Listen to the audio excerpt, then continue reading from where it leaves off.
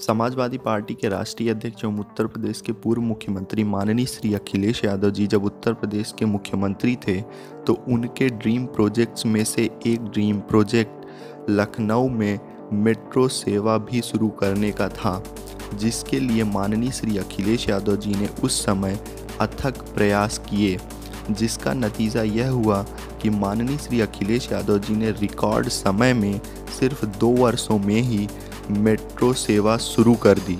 यही कारण है कि माननीय श्री अखिलेश यादव जी का किया गया काम आज विदेशों में भी बोल रहा है और विदेश की मैगजीन में उसको फ्रंट पेज पर जगह मिली।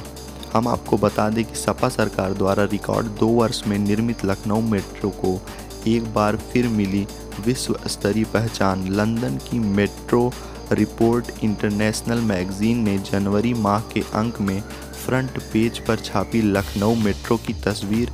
यह यूपी एवं लखनऊ वासियों के लिए हर्ष का विषय है।